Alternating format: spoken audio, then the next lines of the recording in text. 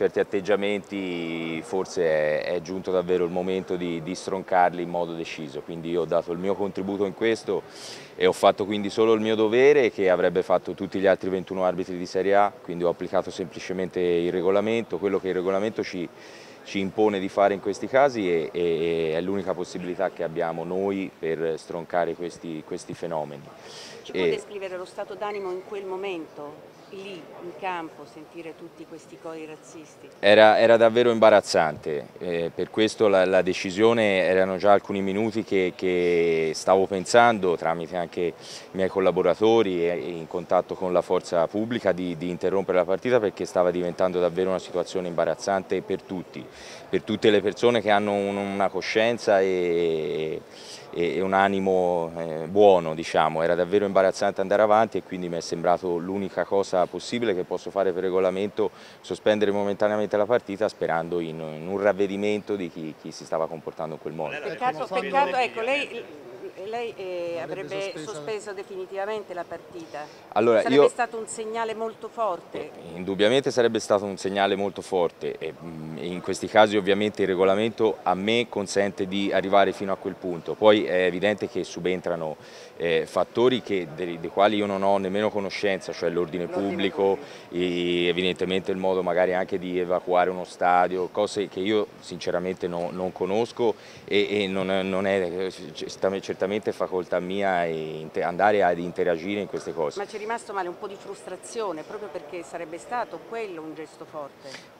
Mi è dispiaciuto eh, aver, aver, interrotto la gara per 3 minuti e 40 secondi e poi appena abbiamo ripreso il gioco e alla prima palla che Colibali ha toccato sentire di nuovo eh, lo stesso che avevo sentito 3 minuti prima, questo mi è dispiaciuto tanto, però abbiamo fatto il possibile, speriamo che anche se il segnale diciamo, non è stato fortissimo ma è stato forte, speriamo che, mi auguro che, insomma, che sia l'ultima volta che parliamo di questa cosa. Eh. Per si tratta di razzismo, nella Lazio giocano altri giocatori di colore, non era un qualcosa per disturbare semplicemente l'avversario? Ma questo io non, non entra nel, nelle mie competenze, poi non sono uno psicologo che entra ne, così a fondo nella testa della gente.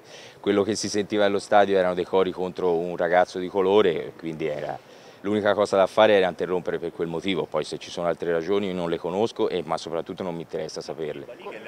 Come, ecco, come ha visto Koulibaly? Che cosa... Koulibaly in campo evidentemente anche lui si era accorto di questa cosa, mm, lì per lì non, non ha detto niente, forse era un po' una situazione di imbarazzo anche per lui, a fine partita mi ha salutato in modo normale, ma questo mi ha fatto piacere poi sapere che dopo comunque mi ha ringraziato per il coraggio che ho avuto, ma io non ho avuto nessun coraggio, ho solo fatto quello che, che il regolamento mi impone e mi consente di fare. Pioli ha detto che non avrebbe interrotto.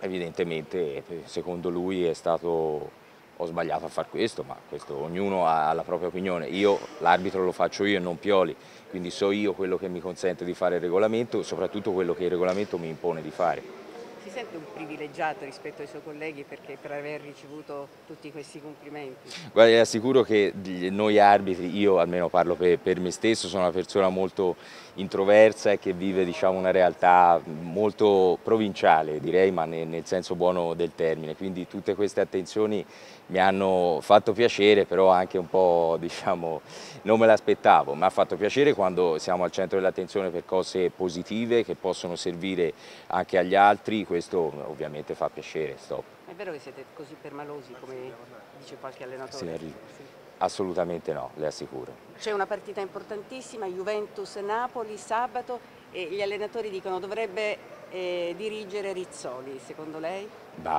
eh? C'è il disegnatore Messina che è, è lì apposta per fare questo e lo fa benissimo, quindi vedrete che andrà il miglior arbitro per quella partita. Grazie.